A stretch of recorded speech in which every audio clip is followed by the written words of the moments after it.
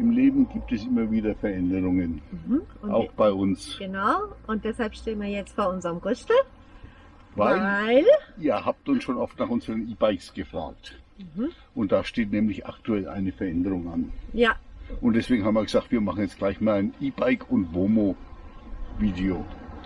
ja. Mhm, genau. Aber jetzt müssen wir erst noch unsere Alte alte raustun raustun, damit wir Platz haben für die neue. und dann kommen die neuen rein. Und alles dazu gibt es nach dem Intro. Das nicht? Ja.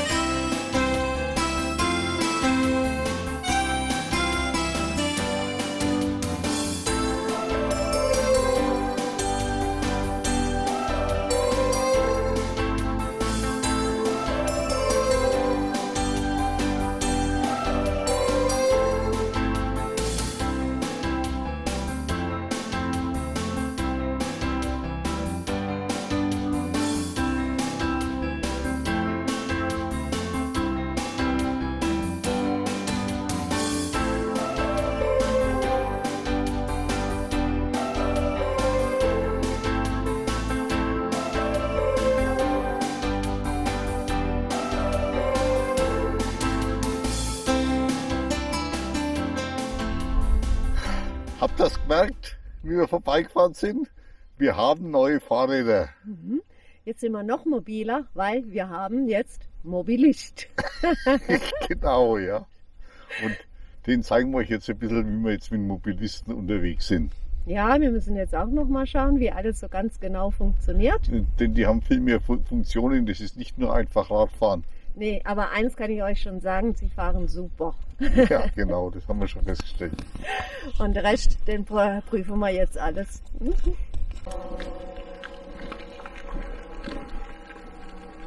So, jetzt können wir wenigstens mal ein bisschen fahren mit der Drohne. So ganz klappt das immer nicht. Und dann nimmt es auch auf. Also einige Vorteile hat das Ganze. Da seht ihr mal das Display, das ist dann auch fest drauf. Bist du da? Ja. Das Display ist fest drauf, die Ursi ist auch dabei. Wo ist die Ursi? Ah, hinter mir. Und die Fahrräder, die haben einige Gimmicks, also zum Beispiel so ein Handgasschalter und dann, wo man sich dann ganz aufs Fahren konzentrieren kann, indem man äh, automatisch fährt mit so einer Cruise-Einstellung. Jetzt zum Beispiel, jetzt brauche ich nicht reden und fahre trotzdem, weil das Ganze ist Cru- Cruisen, wie Tempomat, wie beim Auto. Also sind schon einige Gimmicks dabei. Und vor allen Dingen sind die Fahrräder super für Kastenwagenfahrer, weil sich der Lenker umlegen lässt. Und damit passen die auch in die Heckgarage rein.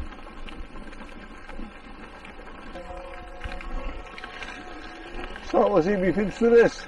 Gar nicht schlecht. Also mir gefällt es, es fährt sich super toll. Also was ja der Vorteil ist, das, das Ganze, die, die Räder sollen 30 bis 40 Prozent stärker sein als unsere alten. Jetzt hätte mir fast auf die Nase gehauen. Habt ihr das gesehen?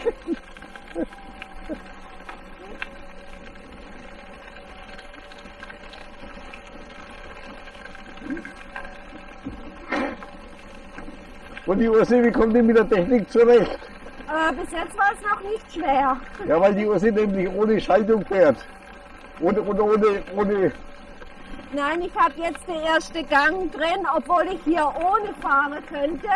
also meinst die erste Unterstützungsstufe. Ja, die erste Unterstützungsstufe, genau, aber die bräuchte ich hier jetzt überhaupt nicht, aber einfach zum Austesten. Es Ja. fährt sich natürlich ganz leicht.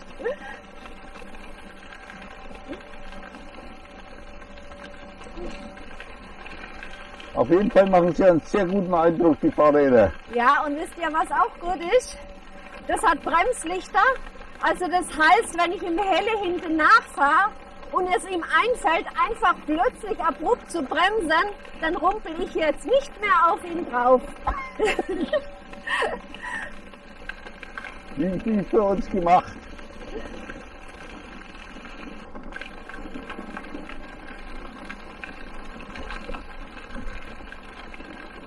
Was auch super ist, sind die Clickpicks. Da habe ich zum Beispiel hier mein Handy drinnen. Das sieht man jetzt nur nicht richtig. Und da kann man dann sogar ein Navigationsgerät einschalten. Müssen wir jetzt ein paar schöne Aufnahmen haben, oder? Sind schöne Aufnahmen dabei? Wird sich rausstellen, ob wir was davon gebrauchen können oder ob wir alles nochmal drehen müssen. Ja. Also wir haben die Fahrräder jetzt mal gerade ein oder zwei Stunden lustig, oder? Ja, das ist jetzt unsere erste Probefahrt und Ja. da ist jetzt alles noch neu und aufregend. Ja.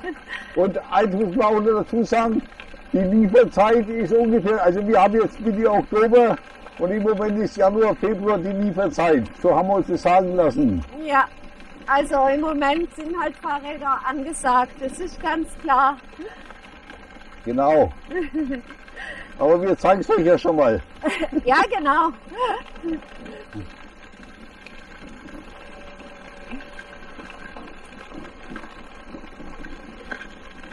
Was das Schöne ist am Display, man hat, hat also auch die, die Temperatur kriegt man angezeigt, die Unterstützungsstufe und dann natürlich Kilometerzahl und alles.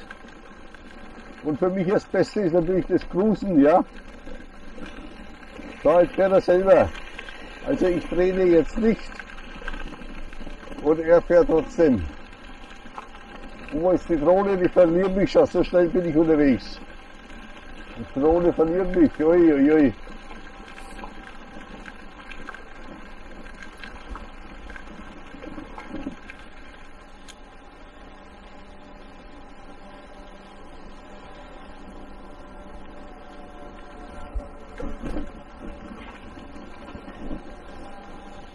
Sie hat jetzt nicht auf dem Schirm, Ich habe dich nicht verstanden. ob die Drohne jetzt nicht auf dem Schirm hat. Ja, ja, die hat jetzt gewechselt. Die hat jetzt nicht, die hat gesagt, die, die, die Drohne hat selbstständig gesagt, ich will den Helle nicht mehr filmen, ich gehe zu sie über, die schaut, sie schaut schöner aus als du. Weil eigentlich habe ich sie auf mich eingestellt. Aber die Drohnen sind halt auch launisch, ja.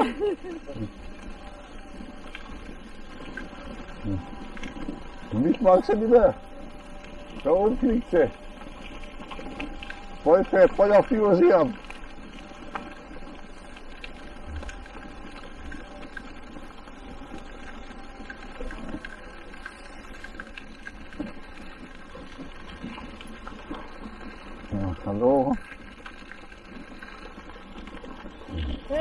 Helmut, die ist weg. Was hast du jetzt wieder angestellt? Ja, Moment, ich piep's da. Ja, Wo ist sie? da oben steht sie. Ah, okay. Was hast du gemacht? Nichts habe ich gemacht. Wieso ist die jetzt hoch? Weiß nicht, weil sie dich verloren hat. Pass auf, dass die ins Wasser geht. Jetzt kannst du sie ja den eh landen lassen, Ja. oder? Ja. Aber im Wasser. Ich habe schon gesagt, dass wir am Rhein stehen. Ich glaube ja, aber schaut mal. Hier kommt ein Containerschiff. Und wir haben die erste Ausfahrt mit den neuen Rädern hinter uns gebracht.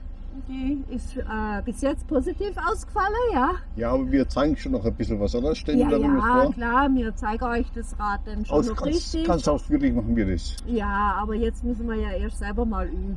Und nicht nur üben, sondern jetzt was essen vor allen Dingen. Ich habe Zwetschgekuchen dabei. Also, das, wir machen es so gemütlich und ihr könnt euch auch mal ein Bier holen oder was auch immer. Ein Tee und die Ein Tee, ja, Jahreszeit. natürlich.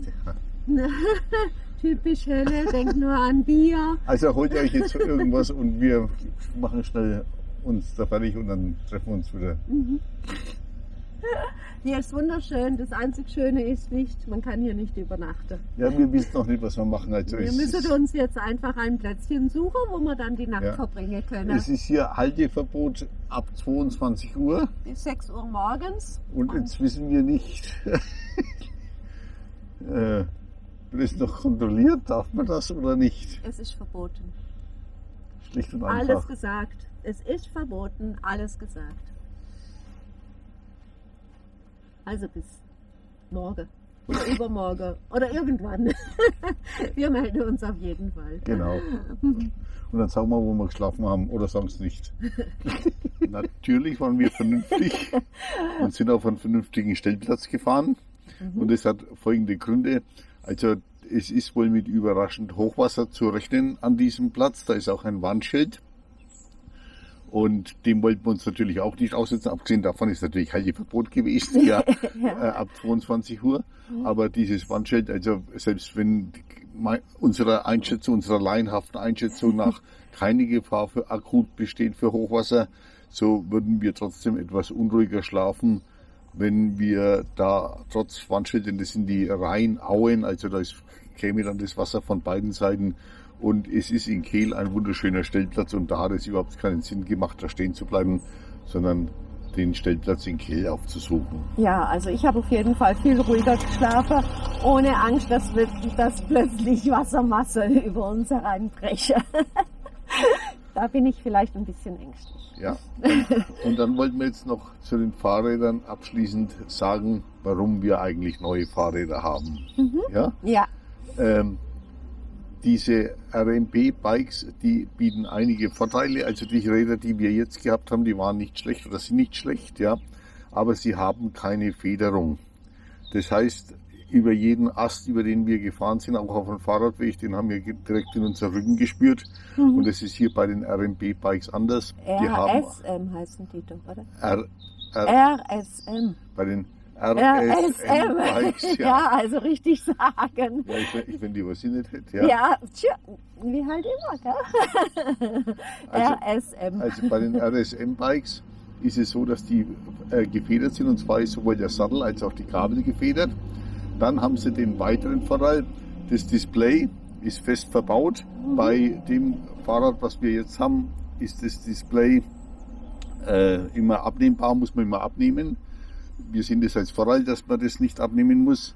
Dann äh, kam noch der Vorteil, man kann also hier den Lenker umklappen was für uns jetzt eigentlich eher ein Nachteil ist, weil dadurch wird das Fahrzeug etwas, das Fahrrad etwas breiter im zerlegten Zustand und wir, es wird dann knapp, das in die Garage einzupassen, denn die Heckgarage, diese Regale sind ja direkt für unser, für, die, alten äh, Räder, alte Räder gebaut angepasst worden, worden. ja. ja. Und jetzt fehlt da vielleicht Ja. so ein, zwei Zentimeter in der Breite. Ja, aber wenn man gleich von Anfang an das berücksichtigt, dann ist es natürlich was anderes. Man hat dann oben dafür etwas mehr Platz. Mhm. Die Akkus sind deutlich leistungsstärker. Also Ja, wir haben das einmal nachgerechnet, 30 bis 40 Prozent mehr Power. Also, Also. erstmal von der Fahrtzeitlänge her, von den Fahrkilometer und dann natürlich auch von der Kraft. mhm. also das heißt, wir müssten jetzt eigentlich, wenn wir Burgen und Schlösser erklimmen, besser den Berg hochkommen. Ja, ja, ich, vielleicht könnt ihr euch an das Kirchheim-Video erinnern. Ja, ja, Helle hat geschoben, ich bin halt gefahren. Ja, ja. Also wir fahren mal wieder nach Kirchheim und dann schauen wir, ob das tatsächlich was bringt. Ja. Ah, ich denke, da gibt es noch genügend Burgen, die wir erklimmen müssen. Was wir auch für eine das Gimmick halten, das ist also das Daumengras, was allerdings komplett zu bedienen nicht erlaubt ist in Deutschland. Ja. Äh, also, aber es ist eine Anfahrtshilfe. Anfahrtshilfe Das heißt, wenn man Fall. steht an der Ampel, kann man mit dem Daumengras anfahren. Selbst wenn man zu hohen Gang eingelegt hat, dann startet der und das ist ganz praktisch. Mhm. Und dann auch den Tempomat, der zwar natürlich extrem auf die Batterie geht, aber für bequeme Leute wie mich ist es dann schon mal äh, nicht unangenehm, wenn man bei Tempo 20 nicht mehr treten braucht, sondern wenn der automatisch fährt. Ah, typisch Helle. Und sowas nennt sie sportlich. Ja, ich habe ein Fahrradergometer daheim, da brauche ich dann in meiner Freizeit nicht Auto drehen. Doch, natürlich. Macht doch viel mehr Spaß. So, Ossi, was habe ich vergessen? Äh, Bremslichter sind da, habe ich ja, glaube ich, schon Bremslichter, ja, erwähnt. ja. Also was ich jetzt persönlich als sehr praktisch finde, Ja. auch wenn mehrere Radfahrer hintereinander herfahren und ähm, einer bremst, so ist es doch leichter zu erkennen. Und dann ist noch ein USB-Stecker für Handy und zwar am Display und am Akku. Halten wir auch für sehr praktisch. Also am Display noch nicht überall, aber bei- bei den meisten. Bei unserem. Jetzt. Ja, bei deinem, Ja, bei mir ja. nicht. Das ist Also das ist ja, in der Erpro also das kann man, Erprobungsphase. ja, und das geht extra, ist ja extra, denke ich dann, oder? Weiß ich nicht. Ja, weiß nicht, ob das serienmäßig nachher kommt, also im Moment noch nicht. Ja, also ansonsten probieren wir die jetzt mal aus und werden im Lauf unserer Wohnmobilzeit öfters davon berichten. Aber jetzt äh, fahren wir erst noch ein bisschen. Wir wollen Ja. jetzt hier, wir stehen ja jetzt in Kehl, ist ja auch direkt am Rhein, zur Grenze zu Frankreich. Und jetzt wollen wir noch an der Rhein runterfahren und da ein bisschen, ja, einfach genießen. Ja, da machen wir ein separates Video Es, dazu. es ist zwar etwas frisch, aber die Sonne scheint. Es ist zwar ein bisschen auch nur neblig, gell? der Nebel wird eigentlich dichter, anstatt dass er weniger wird. Aber wir fahren jetzt mit den Rädern.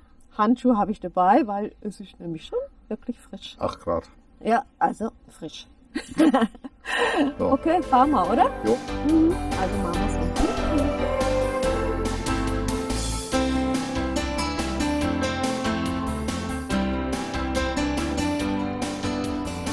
Also bis jetzt, wir haben ja die Fahrräder jetzt das erste Wochenende und ich muss sagen, da ist deutlich mehr Bauer dahinter als bei unseren alten. Das merkt man schon beim ganz normalen Fahren. Uah, Ich falle schon wieder fast runter.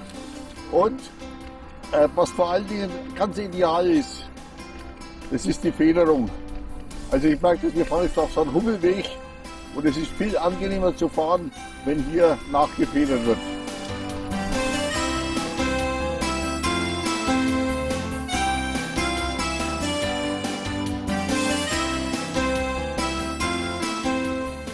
So, das erste Wochenende mit den neuen Fahrrädern haben wir jetzt hinter uns. Die ersten Kilometer sind gefahren.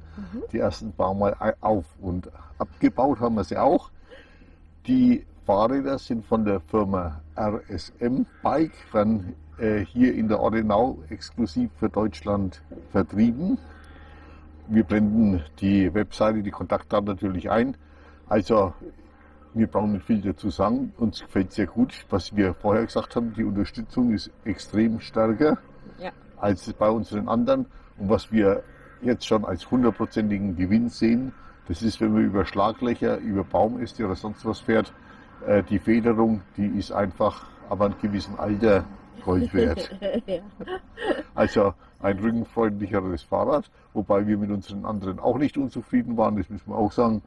Aber jetzt haben wir eben umgestellt.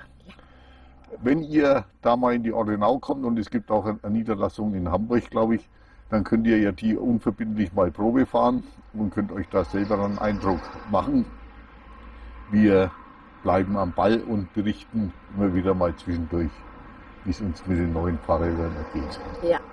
So, das war's. Wir fahren wieder heim Ja. und geben uns unseren Alltag hin. Obwohl, wir könnten jetzt wirklich noch eine Weile hier bleiben. Es ist so richtig schön warm worden. Ja, und die Sonne ist da, das heißt, die Akkus wurden auch noch umweltschonend aufgeladen. Aber wir müssen halt, Ja, äh, es eilt einfach so. Man hat Die- auch noch die- seine Verpflichtung. ja, als Rentner haben wir eh keine Zeit, ja? Nein. also sind wir noch keine Rentner. Naja, Teilrentner, Halbrentner. Oder ist ja egal. Also auf jeden Fall haben wir morgen Termine. Und deshalb fahren wir jetzt leider heim. Und Thank you.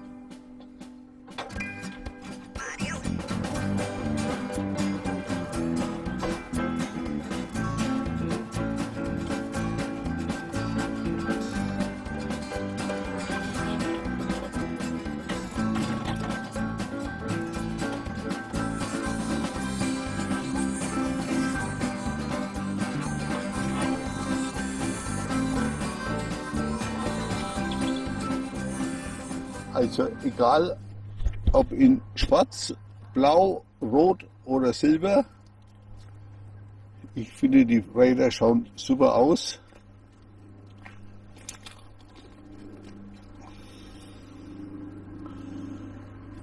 Und wenn man sie dann noch etwas individualisieren will, dann kann man sie auch noch mit tollen Aufklebern verfeinern, wie ich das gemacht habe. Das jetzt eine Verschönerung ist, also darüber lässt sich natürlich wieder trefflich äh, streiten. Also, naja, also ich brauche das nicht auf meinem Mobilist. So, die Räder haben natürlich auch Klickpedale, wie es alle Womo-tauglichen äh, Fahrräder haben sollten, die man auch übrigens nachrüsten kann für jedes äh, Fahrrad. Und dann äh, zu unserer Heckgarage, zu dieser Heckgaragenlösung. Da haben wir unser Videovlog Nummer 11 dazu gedreht. Also äh, Fahrradträger in der Heckgarage. Da mhm. könnt ihr sehen, wie wir die Lösung haben einbauen lassen. Und ansonsten haben wir jetzt die Räder schon ein paar Mal benutzt. Wir haben sie jetzt seit zwei Wochen ungefähr und wir sind. Bis jetzt sind wir sehr zufrieden. Ja. Also ich finde, sie fahren sehr leicht. Es lässt sich alles äh, problemlos handhaben. Ja.